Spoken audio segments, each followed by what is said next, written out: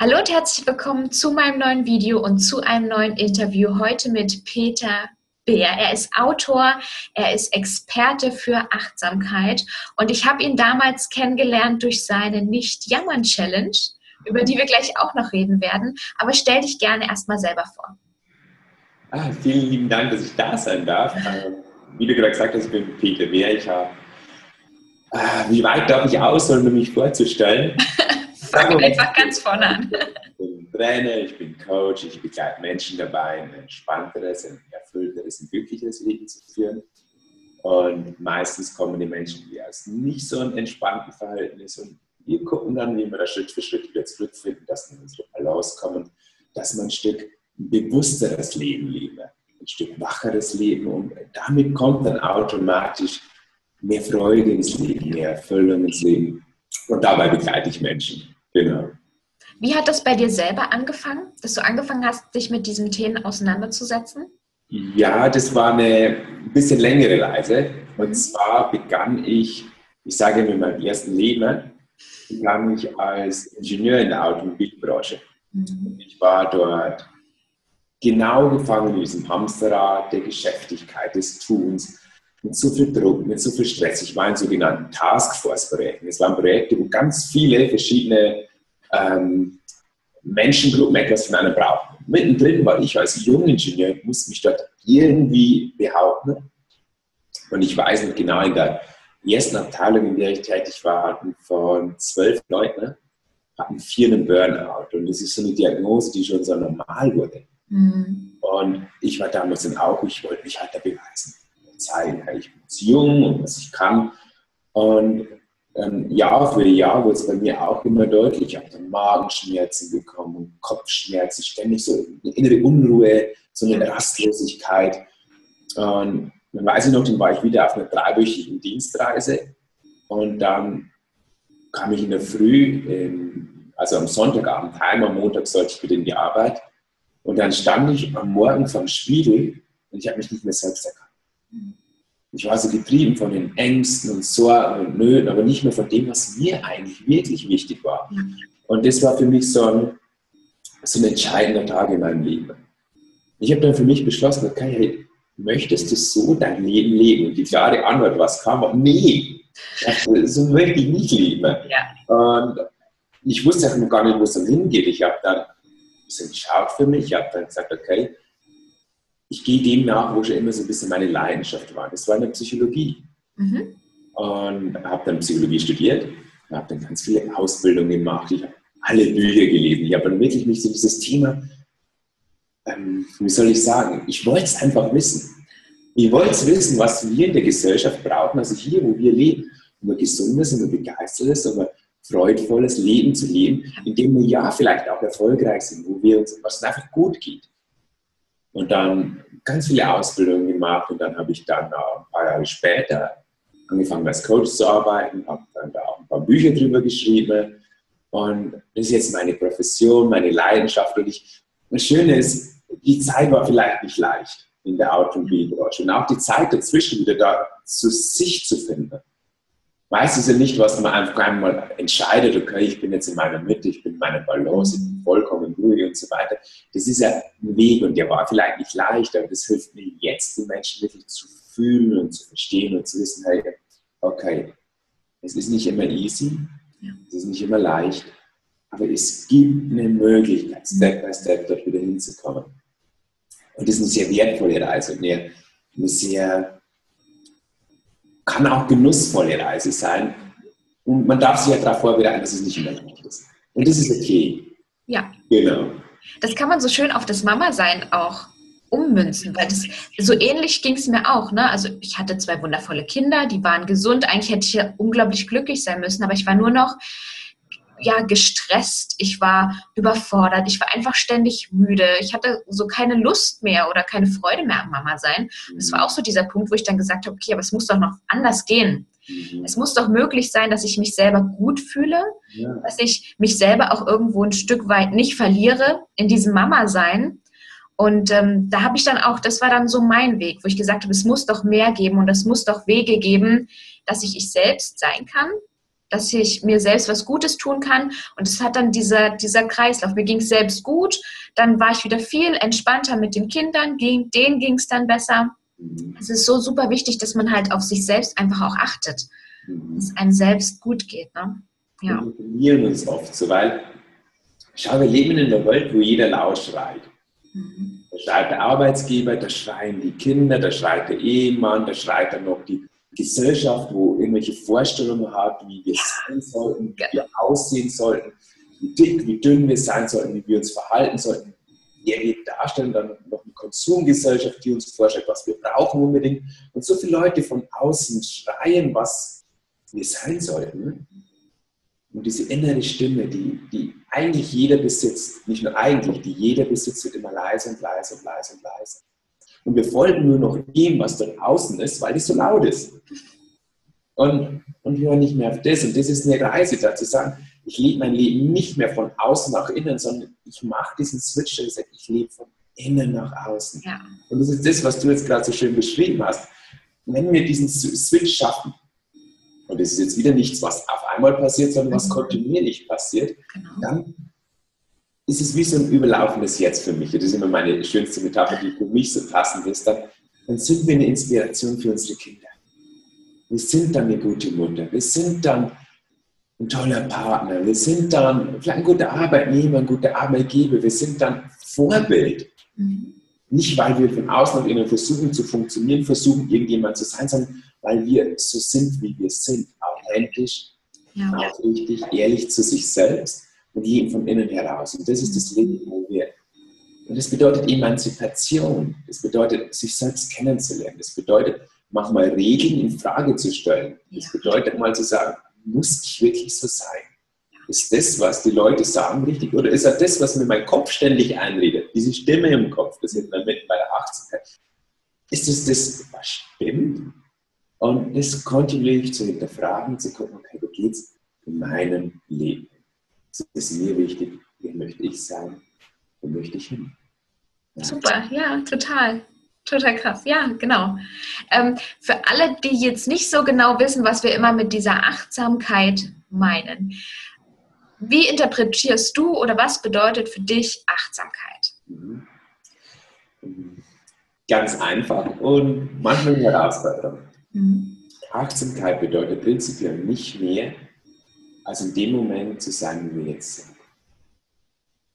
Das heißt, wenn du dir das Video jetzt anschaust, dass du dich spürst, dass du vielleicht spürst, wo du gerade sitzt, dass du die Worte hörst, wirklich hörst, anstatt dir in ihrem Smartphone rumzuklicken. Dass du jetzt siehst, und das kannst du mal ganz genau kurz ausprobieren, den Blickwinkel so ein bisschen erweiterst über den Bildschirmrand und einfach hier bist, jeden Atem spürst einfach da bist. Das ist Achtsamkeit. Was die meisten Menschen machen, sie sind, die stehen in der Früh auf und denken schon, aber es Frühstück gibt. Beim Frühstück denken sie an die Arbeit. In der Dusche, wo es so schön wäre, wo jeder Tropfen man spüren könnte, nee, da sind sie schon wieder im nächsten Problem. Aber die Kinder, na, das herrichten, auch für den Mann noch was machen, für das noch was machen, für das noch mal was machen. Und oh Mist, ich habe das gestern vergessen, das, das, das. Zehn Termine an meinem Terminkalender. Ich versuche an alle gleichzeitig zu denken. Und in dem Ganzen wir das, was eigentlich gerade ist, und zwar der Moment. Achtsamkeit bedeutet es zu lernen, vom Moment zu Moment hier zu sein. Und das schafft dann tausende Vorteile, wirklich. Es gibt mittlerweile über tausende Studien, die zeigen, wie wertvoll Achtsamkeit ist. In den verschiedensten Bereichen. Aber das einfachste Beispiel ist für mich immer das. Normal ist dieser Autopilot-Modus, den wir kennen. Wir handeln so, wie wir immer gehandelt haben. Und wir kämpfen uns durch den Alltag. Und Achtsamkeit schafft dort eine Pause. Soll ich ganz kurz erklären? Ist es okay? Ja, bitte, unbedingt. Okay, du kannst dir das so vorstellen. Gerade in diesem Moment kommen Informationen auf dich herein. Also das, was ich sage, was du hörst, riechst, schmeckst, fühlst. Und diese Informationen gehen dann durch unser Gehirn und das ist ein Verarbeitungsprozess und prinzipiell werden sie dann bewertet. Die werden bewertet, äh, macht es Sinn, was der sagt, macht das keinen Sinn, oh, das ist cool oder ah, irgendwie passt das nicht zu meinem Leben. Das läuft ständig ab, jede Sekunde, Millionen von Bewertungen, zwischen 50.000 und 80.000 Gedanken jeden Tag. Und je nachdem, wie wir das bewerten, erzeugt es Gefühle. Und diese Gefühle sind dann entweder Traurigkeit, Angst, Sorgen, Wut oder vielleicht auch Freude, je nach dieser inneren Bewertung. Und diese Emotionen lösen dann unser Verhalten aus. Also es ist ein Ereignis, dieses Ereignis wird wahrgenommen durch unsere Sinne, das wird bewertet, die Bewertung löst Emotionen aus und dann handeln wir. Diese Kette läuft nun mal völlig auf Autopilot. Das heißt, wir bekommen es gar nicht mit. Der Partner drückt einen Knopf und schon handeln wir, wie wir immer gehandelt haben. Das Kind macht was, was uns nicht gefällt und es rutscht uns raus, wir schreien. Äh, und das ist normal, das ist völlig normal, weil das so hochautomatisierte Prozesse sind. Was Achtsamkeit gerade zu Beginn macht, es schafft eine Pause. Sie sagen, es kommt ein Auslöser, es kommt vielleicht auch noch die Bewertung automatisch, aber wir handeln erstmal nicht, sondern wir fühlen erstmal, was fühle ich gerade in dem Moment. Fühle ich mich gerade wütend, fühle ich mich gerade sauer, vielleicht gerade glücklich.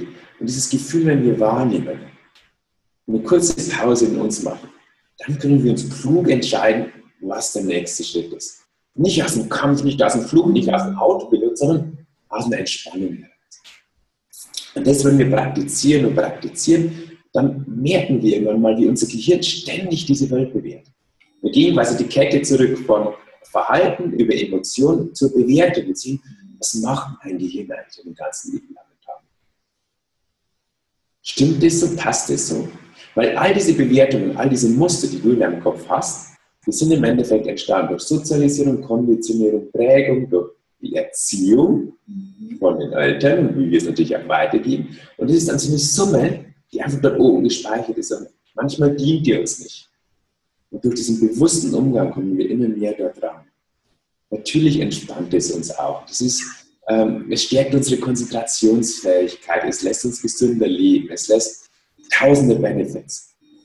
Und für mich ist es immer, das Schönste ist, wir lernen das Leben wieder zu genießen. Weißt, wenn ich morgen am Frühstückstisch sitze und genussvoll einen Kaffee trinke, dann trinke ich genussvoll diesen Kaffee. Wenn ich in der Dusche stehe, spüre ich jeden Wassertropfen. Wenn ich mit meinen Kindern schimpfe, dann schimpfe ich bewusst. ich beginn nicht. Und wenn es dann mal wieder auf Autopilot passiert, dann bin ich gut zu mir und sage, hey, es ist okay. Es ist ganz normal, es ist das Leben. Und gehe dann mit mir liebevoll und gut um, weil es so ist, wie es ist. Und ich verurteile es gar nicht bloß. Auch mein eigenes Verhalten. Und oft verurteilen uns so oft und denken, wir müssten irgendwie sein. Achtsamkeit ist da diese Annahme von sich, zu sagen, so wie ich bin, bin ich echt ganz okay. Auch wenn mir die Stimme in meinem Kopf da oben manchmal was anderes erzählt, ja, das ist okay. Da, da dürfen wir entspannt damit umgehen. So, ich habe es echt weit ausgedrückt. Aber das war super, super wertvoll. Es war total schön, nochmal so zu hören. Ja, super, super. Ähm, und wenn wir jetzt beginnen möchte, achtsamer zu leben, das ist ja ein Prozess. Mhm. Ja, also das, das dauert einfach, bis das so einigermaßen automatisch würde ich es auch nicht sagen, aber bis man es so in seinen Alltag stark integriert hat. Das ist ein Prozess, das dauert. Aber wenn man jetzt so die ersten Schritte machen möchte, was würdest du so empfehlen, wie man da rangeht? Wenn man sich jetzt nach deinem sehr mitreißenden Vortrag dazu entschieden hat, dass Achtsamkeit absolut was ist, mit dem man jetzt beginnen möchte, wie sollte man einfach starten? Mhm. Ähm, ich würde es auf mehreren Schienen starten. Und zwar erstens mal mit das Thema Einladen ins Leben. Das ist quasi auf einer kontinuierlichen Basis etwas gibt, das mich daran erinnert. Beispielsweise Facebook-Gruppen gibt es da welche, wo ich gibt, da habe ich auch eine schöne Gruppe. Ja, genau. Es gibt, diese, ähm, zum, also es, es gibt viele tolle Lehrer. Das muss nicht ich sein. Es gibt wirklich wertvolle Menschen da draußen. Ganz egal wie. Fühlt das, wer euch anspricht. Und dann folgt ihm ein bisschen. Weil der, zum Beispiel, ich bringe jeden Mittwoch ein YouTube-Video raus. Und da geht es immer wieder genau um dieses Thema. Dann lädt man sich das Thema schon mal ein. Ja. Weil oftmals verlieren wir uns da im Alltag wieder in diesem Struggle, in diesem Autopilot-Modus und dann bevor wir uns denken, oh, wir wollten doch achtsam sein und ah, ich habe es wieder verloren. Okay, und darum dieser kontinuierliche Reminder. Das Zweite, was ich dir in die Hand gebe, ist, ähm, wo gehen wir weiter? Weil, weil wir dürfen nämlich eins nicht vergessen. Unser Gehirn ist ein hochautomatisiertes ähm, Organ, das dieses von Auslöser zum Verhalten blitzschnell schaltet. Und das ist manchmal im Alltag eine Herausforderung. Hm, was ich auf jeden Fall machen würde, ist Meditation in meinem Leben. Mhm. Das ist der zweite Schritt. Also erstes Mal Thema einladen, zweitens Meditation im Alltag. Was ist Meditation? Prinzipiell super, super simpel. Also wirklich einfach. Du setzt dich hin wie wir hier. Du kannst jetzt mal mitmachen. Wir machen mal eine Meditation. Ist es okay für dich? Ja, klar. Pass auf, ich zeige dir die schnellste Meditation der Welt. Okay. Hinsetzen, kurz spüren, wo wir sind, im Raum, wo bin ich gerade, Wand hinter mir. Ich spüre mal kurz mein Gesäß. Und dann einen Atemzug, wo ich den Atem verfolge über die Nase und den Hals und den die Lunge. Und wieder aus. Nochmal ein. Und aus. Das war's. Das ist Meditation.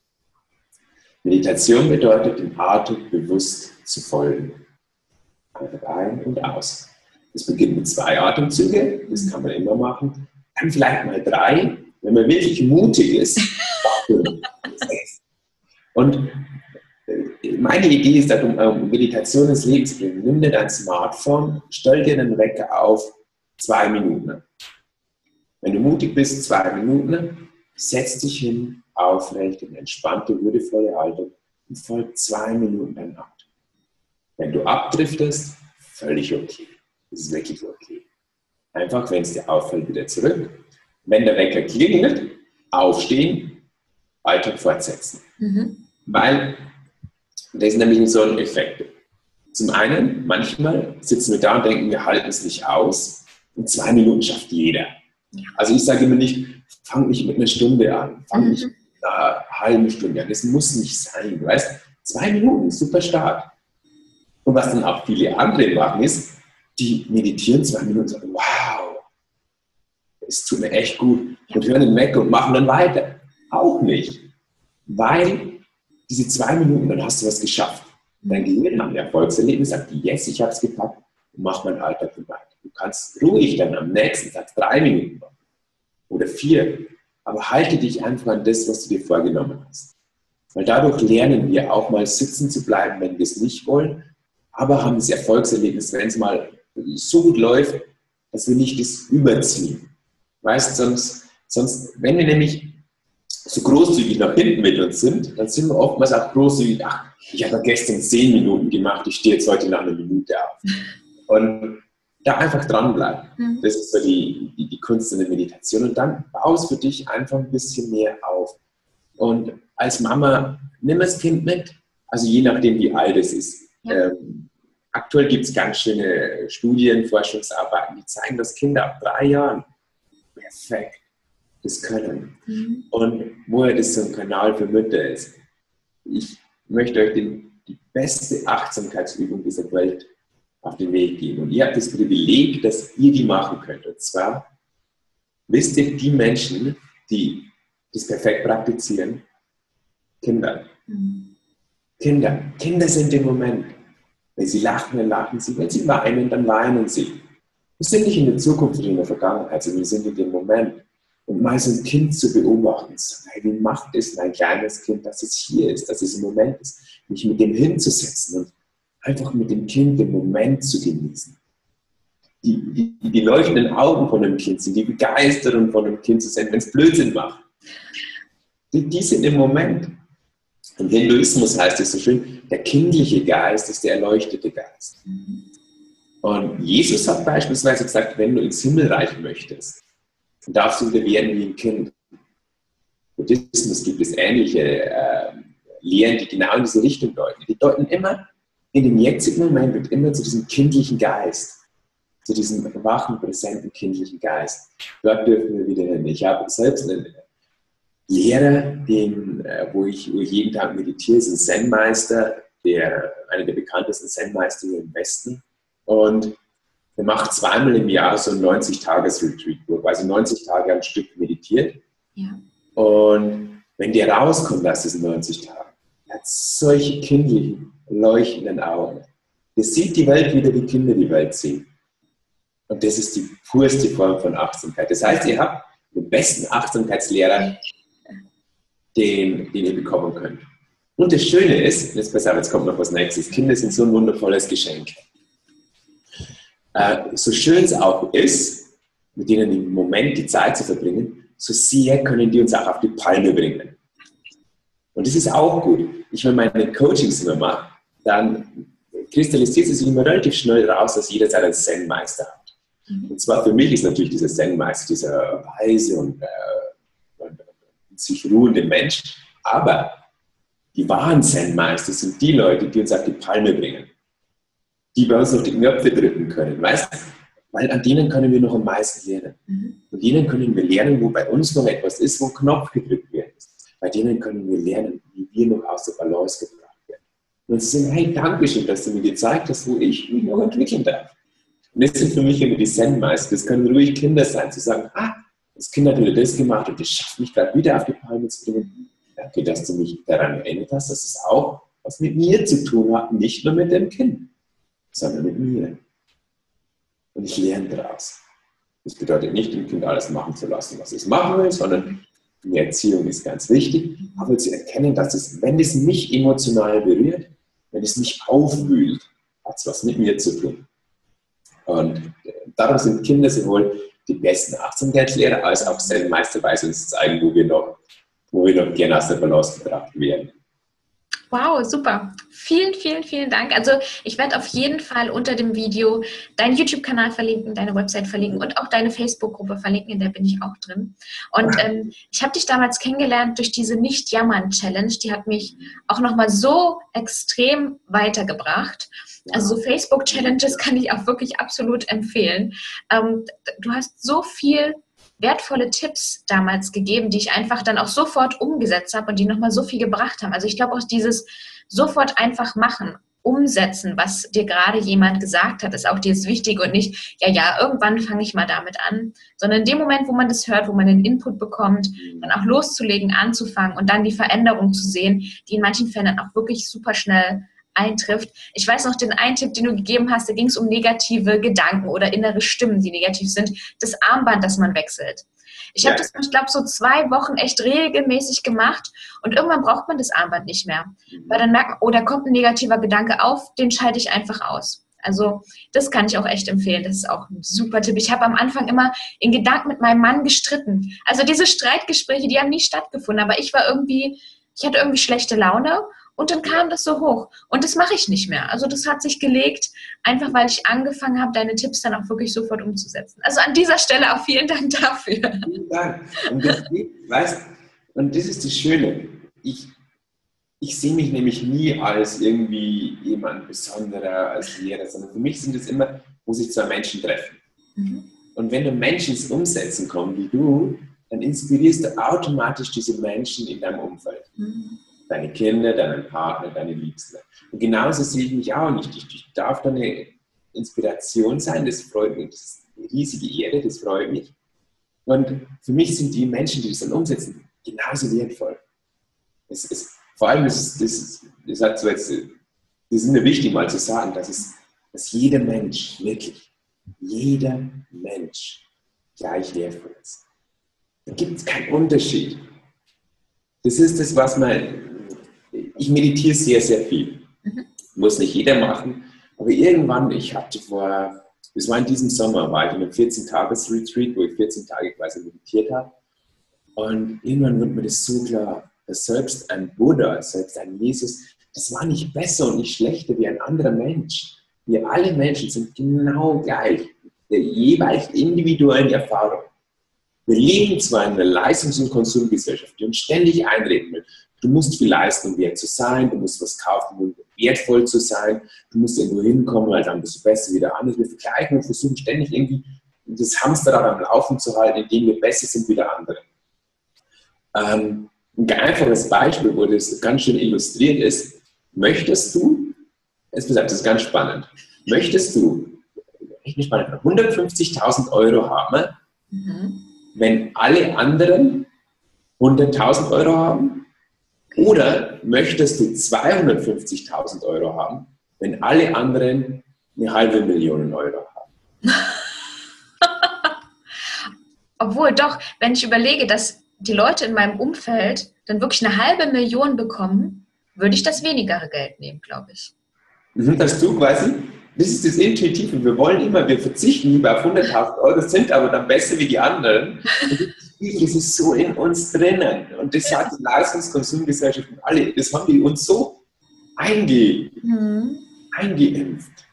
Und es hat auch lange gebraucht, dass ich gesessen bin, um das nicht nur intellektuell zu verstehen, sondern auch auf einer Ebene des Fühlens, dass wir alle Menschen, du, ich, jeder, der hier zuschaut, genauso wertvoll ist. Ja.